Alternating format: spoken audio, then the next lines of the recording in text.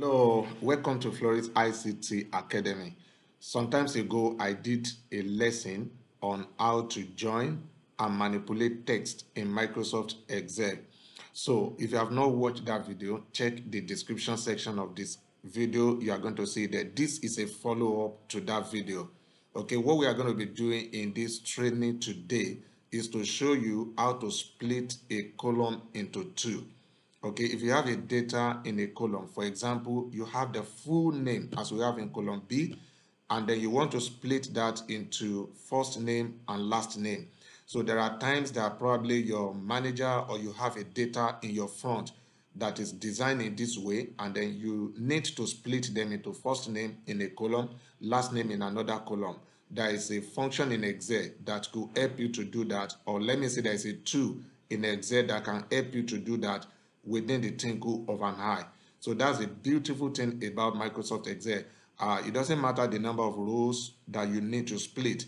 Okay, once you go there and you do that, you are able to split it uh, within the twinkle of an eye. And this one thing again that makes Excel to be very interesting because if you have this table in Microsoft Word, for example, it's going to be a tug of war for you to be able to split uh, the column where you have the full name and separate them into two different columns on the table as the first and the last name. But with Excel, you can easily get that to be done. Now, let's go straight to what we are going to do today. Now, you the first thing you are going to do, it depends on the requirement. If you still want to maintain the full name and then have two additional column as first and the last name, there is no problem. You can do that. In that case, you are going to have the full name column you are going to have another column called uh, the first name, another column as the last name. That's one option or one scenario. Another scenario is where you want to totally replace the full name. You don't need the full name column again in the Excel. So you want the data you want to split one of them to replace the full name column. No problem about that. Now the database we are using right now, you can see it has uh, a column A to I, and then we have EEID, full name, department, business unit, gender, ethnicity, country, city, and exit date. Now, by the time we adding additional two column to this, that means we are expected to have up to column K, okay, because we are going to have the first and the last name just after uh, the full name. So let's first and foremost uh, try the first scenario, okay? The first scenario is that we are replacing uh, the full name with maybe the last name, and then we're going to have additional column as the first name. That's the first scenario. Okay, so let's go ahead. How do you do that? Uh, the first thing I will advise you to do is create additional a column here, a new column. Click on the column C. By the time you click on the column letter, letter C, then you align the entire column. Right click on the column C, and then you go to insert, insert additional column. So right now we have a column that we want to use to accommodate uh, the first or the last name. Why we can have the last name here, the first name here, and then we'll get rid of the full name completely. So having done that, the next thing you are going to do, I like the column B that you want to split. Now take note of something as well. The data you have in column B uh, is separated by what? The first and the last name currently for the full name is separated by space. So go straight to data on the menu bar. You have the data on the menu bar. So click on the data. By the time you click on the data, you have all the truths under the data. The one we are making use of today is text to column. Now, this is Microsoft Office 2019. So this is Excel 2019. I don't know the version of Excel you are using, but you should have text to column option under data. So if you don't have it, uh, probably you are using an old Excel version. Let me know in the comment section as well, okay? If you don't have text to column option. There are different way of doing this, but this is the simplest way because this is already there. This is a wizard you are going to follow. You are not typing any formula. You just follow the wizard. A dialog box will pop up and then you respond to that dialog box and then you have your data there. So let's see how it works. I'm going to click on text to column. Now, when I do that, a dialog box pop up for the wizard. Then we have step one to three that we are going to follow. Now, the first option that you have here is delimited. Choose the file, choose the file type that best describe your data. Our data here is described by space. That is, there's a space between the first and the last name, okay? I'm assuming that Emily is the first name and Davis is the last name. So there is a space. So that first and the last name is currently separated by a space, not by comma. So if it is separated by either space, comma, or semicolon, then you are going to go ahead and choose delimited option here. It's not separated by a width, okay? So we go ahead and click on delimited, and the next thing you hit, you are going to see the data preview, and then you go to the next. Now, when we get to the next, you have options here as well. Delimiters option. What are the options? The tab. Okay, this is going to be there by default because you want it in a new tab. Okay, then you have what? Uh, another option, semicolon, no, comma, no. This data here is not separated by any of them. It's separated by space. So I'm going to click on space. And as soon as you click on space, look at the data preview. Now let me uncheck this. You can see how it is right now. But when I click on space, you can see that it is splitted into two columns because my data here is separated with space. So I have the first name and then the last name separated with space. So the next thing we are going to do right now, after doing that, we are going to hit on the next and go to the third step in the wizard.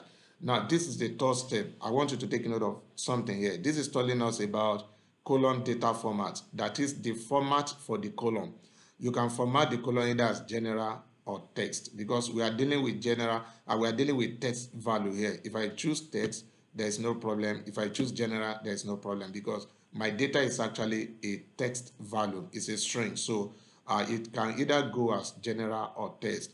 Now it is not a date. Okay. So I'm not going to go ahead and choose date because what I'm splitting here is not date. Uh, if I'm splitting month and year, okay in a column i want to split it to month and year column a single column that contain month and year then i can go ahead and choose date here but this time around i'm doing general or text value there is no problem so the next thing you are going to do as you can see right now so we have destination where should the splitting go to so it's going to start from column b row number one that means the column where I already have the full name remember the first scenario that's what you want to achieve you want to replace the full name with the first name and have uh, the next uh, last name to come to another column entirely. So uh, this is a destination. They start in the destination. I'm good with this. Column B and then row number one. So you leave that as it is. And then the next thing you are going to do now is to click on finish. So it's you. You can see there is already data here. Do you want to replace it? I will say yes that's okay then see what happened so I don't need this column basically I can hide it by right clicking on it and click on hide column this is hide or I go ahead and then delete that column. Let's go ahead and hide it right? So I've hidden the column D there. So now you can see the full name. You change the full name now to maybe the first name all right and then this name to the last uh, name. Great. So we have our data splitted and then uh, there is no overwriting of the other data that we have in the Excel. So that's the first scenario. It's up to column J now. Uh, the next scenario that we want to do, let's go ahead and bring out this column because we are going to need it on hide the column. Okay, so the column that was hidden before, I will right click and then unhide the column to have it back. The, the next scenario we are going to have is to maintain our full name column and then have the first and the last name.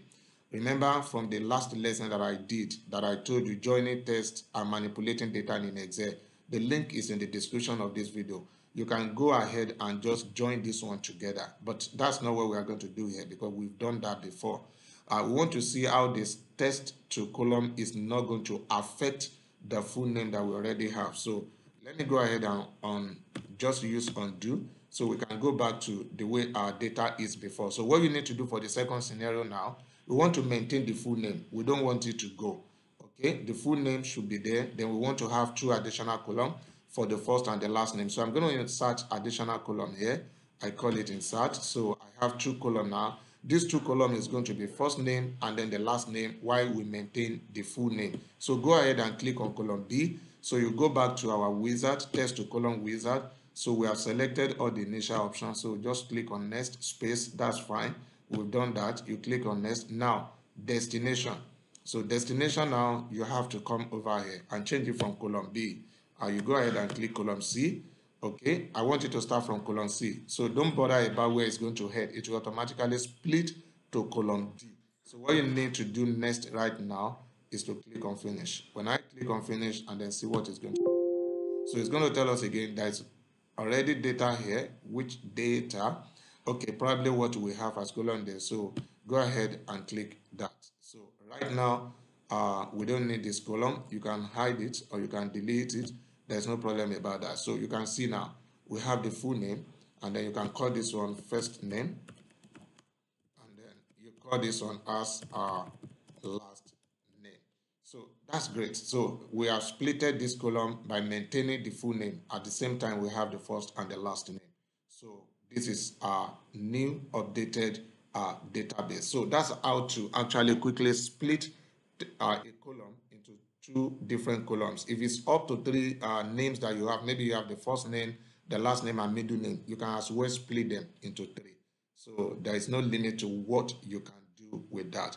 So this is how to split uh, a column into two or three or more different columns. I hope you have learned something here. Now, if you have any challenge in doing this when you are practicing it, uh, don't hesitate to drop that in the comment section or drop message for me on the WhatsApp. And if you are interested in learning better, you want to learn more, you want somebody that will hold you by hand and you want to learn one-on-one, -on -one, we have an online training that is going on, computer and ICT training for beginner. We have a, a ICT training also that is going on for different areas of ICT, cybersecurity, data analytics. You might want to check uh, the website in the description of this video. You are going to see full detail of all our training courses and how we can actually hold you by hand and turn you from beginners to computer guru. Thank you for watching. See you in the next lesson.